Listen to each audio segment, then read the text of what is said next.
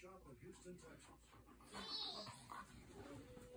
Plainflows Harris County Sheriff's Detective Dalton and Park responded to a tip that a loaded felon was on the premises.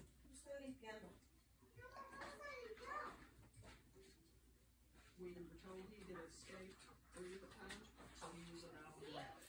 And we figured that he could run from it.